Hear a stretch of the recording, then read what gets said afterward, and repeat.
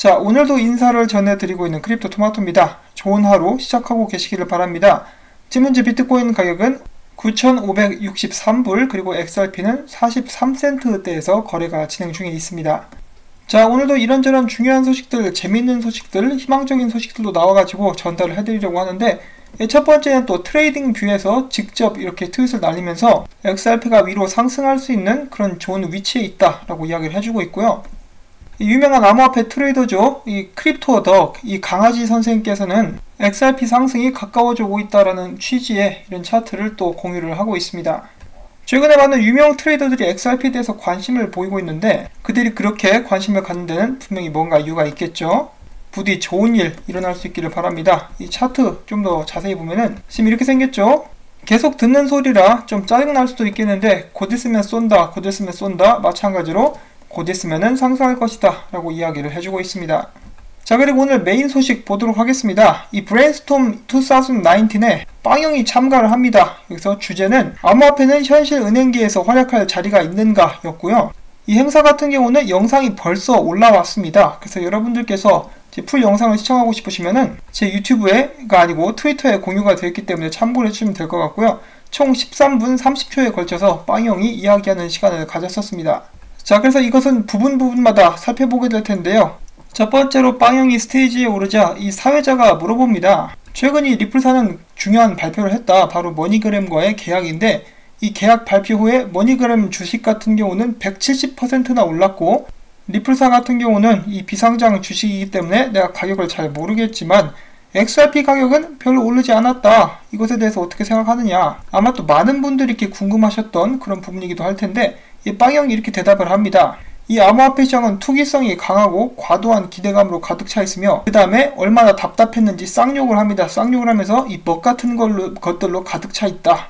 사람들은 아직도 뭐가 진짜 가치가 있는 것인지 잘 모르고 있고 무엇이 진짜인지 무엇이 소문인지 잘 구분을 못하고 있다. 예를 들어 페이스북 뉴스를 봐라. 페이스북 코인이 나온다고 발표를 했고 그 코인은 내년에 출시가 될 거라 했는데 언론에서는 페이스북이 암호화폐를 출시했다라고 말을 하고 있다.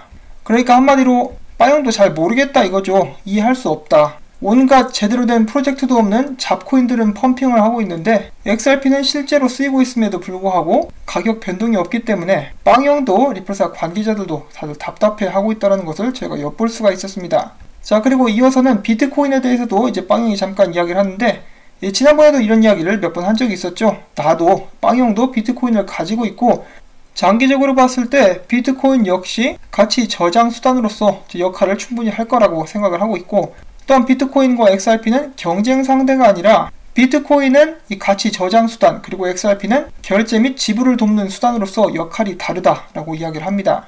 자, 그 다음에 제가 듣다가, 아, 정말로? 라고 이렇게 말이 나오게 할 정도로 이야기한 부분이 있었는데, 전에 말잔 델라틴이 이 10곳의 금융기관들이 활발하게 엑스레핏을 사용하고 있다라고 이야기를 한 적이 있었죠. 빵형이 이번 패널에서는 이제 가장 최근 패널이라고 볼 수가 있겠죠. 나와가지고 이제 엑셀 X 레핏이 10군데에서 15군데 사이에서 사용되고 있다라고 이야기를 합니다. 점점 X 레핏을 사용하는 곳들이 늘어가고 있다라는 것을 저희가 엿볼 수 있는 그런 부분이죠. 그 외에 빵형은 모든 암호화폐는 결국은 이 실사용 유스케이스에 따라서 가치를 평가받게 될 것이다 라고 이야기를 합니다. 저희도 이제 그런 날을 기다리고 있는 것이겠죠. 마구잡이로 이렇게 세력들이 해대는 펌핑되는 그런 코인들 가격이 올라갈 게 아니라 실제로 사용되고 사람들의 삶을 윤택하게 해주는 그런 코인들이 이제 가치가 올라가게 될 시기가 오게 될 것입니다. 자 그리고 또한 이어서 희소식이 있었는데 이 부분은 이제 같이 함께 들어보도록 하시죠. This week will probably be the best week of signed contracts at, at Ripple ever. Right. Wow. It has been a massive call to action because, you know, again, Facebook kind of came out and said, we don't need Western Union anymore. Right.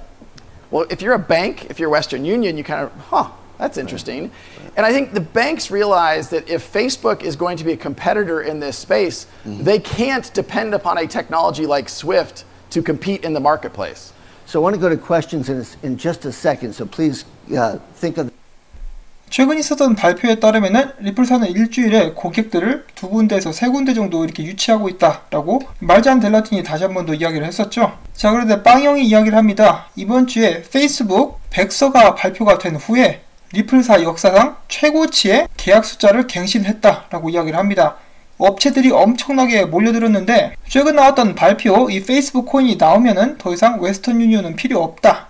그것 때문에 웨스턴 유니온과 관련된 은행들은 긴장하기 시작했고 이것은 관련 업체들에게 현실을 돌아볼 수 있도록 해주는 계기가 되었다. 은행들은 기술적인 부분에서 페이스북이랑 시장 내에서 같이 경쟁을 하게 된다면은 이 스위프트를 사용하는 것으로는 역부족이라는 것을 실감한 계기가 된 것이다 라고 이야기를 합니다.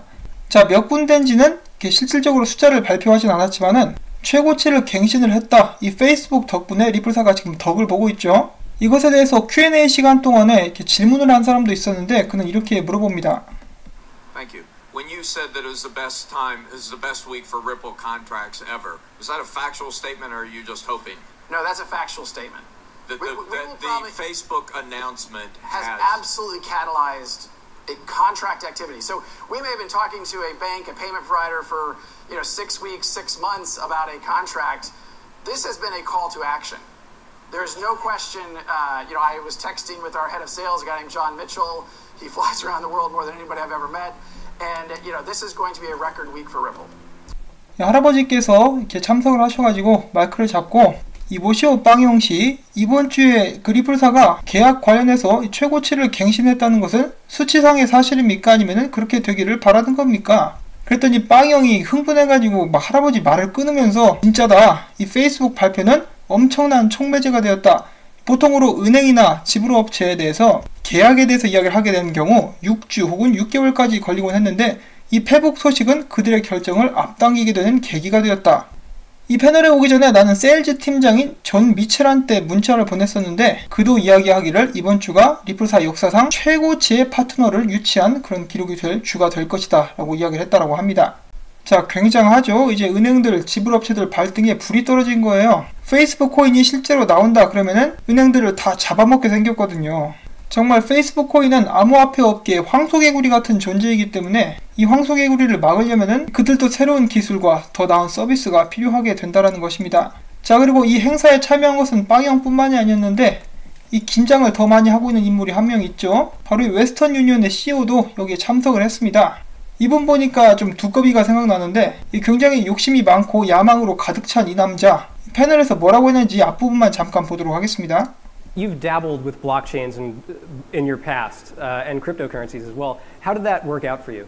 I think you know we are still work, uh, investing there. We have our own group, invest only on the uh, blockchain and on the cryptocurrency. Um, we did also a test with Ripple, and we are still doing it, and It's still ongoing. still ongoing. You know, we are looking at it, and we are really learning from Ripple. Uh, but said a, a year or so ago when you were using Ripple's product that uh, it was, quote, still too expensive. You didn't see. Yeah, I mean, you know, we, we are in a different, they just announced with MoneyGram, as you know, yesterday or the day before, an announcement that they're investing there.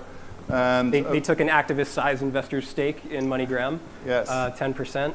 And um, obviously, we are in a different position than MoneyGram. We are, you know, we have our own settlement system, which is extremely cost efficient. Um, today, it showed us, you know, as we do in the test, it's five times more expensive doing with a cryptocurrency, with a stable currency like Ripple. But you know, it's others. For us, it's different. Uh, but I just saw Brad before uh, coming to this meeting. I said, "Hey, Brad, you know, we are still in talking. I congratulate him to this deal. Obviously, MoneyGram needed something, and Ripple needed something. That sounds a good deal. But for us, it's currently we are pretty much um, okay with our uh, settlement system.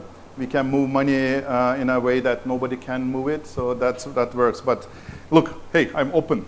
Any cost savings, any innovation, I'm there. I have, a, you know, we can sign a deal tomorrow.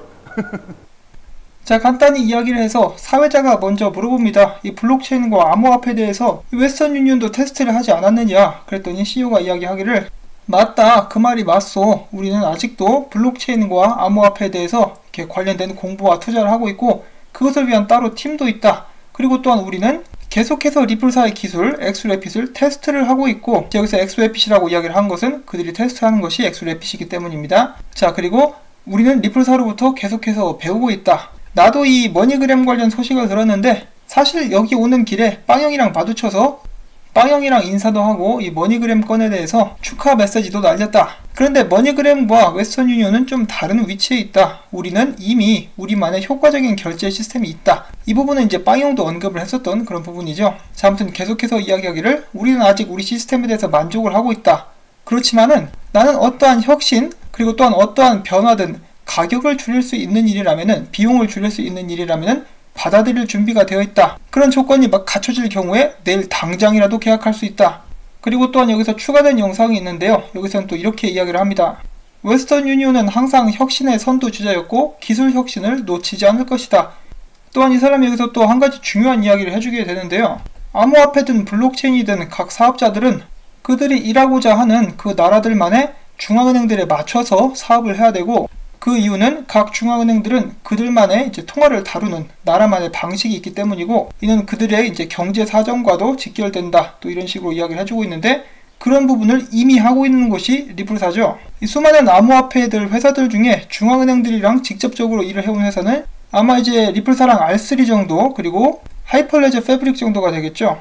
자, 리플사 같은 경우는 중앙은행들이 모임을 할 때 항상 초청을 하는 그런 회사이기도 합니다. 그래서 그런 부분 같은 경우는 이미 만족을 시킨 상태다라고도 볼 수가 있겠고 모르긴 몰라도 이 사람 굉장히 굉장히 지금 속이 탈 거예요. 페이스북 코인도 나온다 그러고 머니그램은 리플사랑 파트너십 맺고 잘못하다가는 웨스턴 유니온 밀리게 생겼죠. 저희가 가장 바라는 것은 리플사와 XRP를 통해 가지고 웨스턴 유니온에서 하는 사업들에 대한 비용을 크게 절감을 시켜줘 가지고 웨스턴 유니온 역시 리플사의 기술로 넘어오게끔 되는 것. 그 조건만 맞으면은 자신은 내일 당장이라도 계약을 하겠다라고 이야기를 하고 있으니까 그런 부분에서 이제 좋은 결과가 나올 수 있기를 기대를 해볼 수가 있겠습니다. 많은 사람들이 페이스북 코인 백서 발표에 대해서 긴장을 하고 있었는데 오히려 지금 리플사에게 많은 득을 아직까지는 가져다 주고 있는 그런 상황입니다. 자 그래서 저도 몇 번 이렇게 말씀을 드렸었는데 이 발표가 나오고 페이스북 코인도 나와봐야 아는 것이지만은 그때까지 너무 걱정하지 마시라고 약간 설명을 드린 적이 있었죠. 앞으로도 마찬가지입니다. 분야에 걸쳐서 이제 겹치는 부분은 분명히 있기는 합니다. 예를 들어서 외국인 노동자들이 돈을 보낼 때 주로 송금업체를 쓰게 되는데 페북코인이 나오면은 그냥 그거 그냥 쓰면 되니까 그들로서 이제 굉장히 편하겠죠. 그리고 P2P 같은 경우는 사람 대 사람으로서 송금을 하게 되면은 수수료를 받지 않겠다라고 또 이렇게 이야기를 하고 있으니까 거의 외국인 노동자분들은 그걸 쓴다라고도 봐도 무방하겠죠. 물론 그렇게 되기까지 과정이 쉽지만은 않을 것이라고 생각을 하는데요. 그 이유는 각 나라의 규제들 때문입니다. 자, 아무튼 그런 부분이 있고 리플사가 또 한 가지로 목표로 삼고 있는 것 중에 하나가 바로 이 금융 서비스가 제대로 보급이 안 된 나라 아프리카, 인도 그런데도 이제 핸드폰을 사용해가지고 금융 서비스를 지원받을 수 있게끔 하는 것을 목표로 두고 있었는데 또한 그것을 위한 프로젝트가 Mojaloop이라는 프로젝트가 또 있었죠. 마이크로소프트랑 함께하는 그 프로젝트가 있었는데 이 리브라도 페이스북 리브라도 그것을 목표로 하고 있다라고 합니다. 이런 부분에서 겹치는 부분은 있겠지만은 앞으로 어떻게 될지 모르기 때문에 지금 당장 막 긴장하고 스트레스 받을 이유는 전혀 없다. 이 정도만 이렇게 말씀을 드리고 넘어가도록 하겠습니다.